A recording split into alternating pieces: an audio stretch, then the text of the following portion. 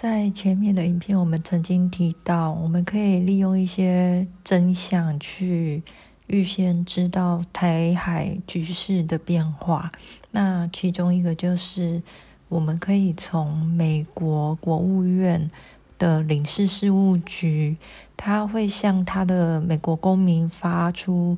呃，哪一个国家适合旅游，哪一个国家不适合？然后它旅游的警戒程度是如何？当它提升台湾的旅游警戒时，我们就可以当做一个小小的参考。那接下来我们就来操作怎么订阅台湾的旅游警示。首先，你可以先在网站上面搜寻。美国国务院领事事务局，或者是你可以到影片的资讯栏看到相关的链接。进到网站以后，你可以点选国际旅游，国际旅游这里，往下拉动的时候，你会看到一个护照的照片，下面有一个智慧旅行者。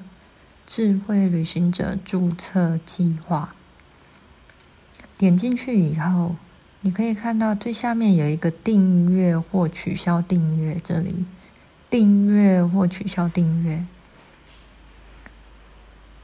进去之后呢，在你不是没有在旅行的时候，你一样可以监控海外特定目的地的安全状态。好，我们点选订阅之后呢？在姓名跟电子邮件这边填好资料，填完之后呢，你可以往下拉，拉到台湾，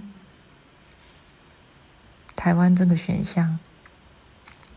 好，点选台湾之后，有一个往右的箭头，这里可以选提交。提交上去之后呢，它就会寄一封信到你的 email 信箱里面。好，你可以到你的 email 信箱里面，应该会收到一封英文信件。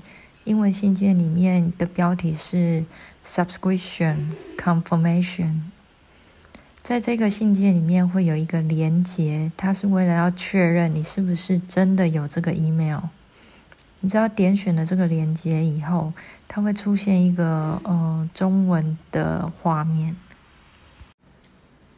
接下来你会在你的 email 里面收到一封是 Welcome to the China Taiwan List，好，这个是跟你说你的订阅已经成功了，你要收到这一封信才算是订阅成功。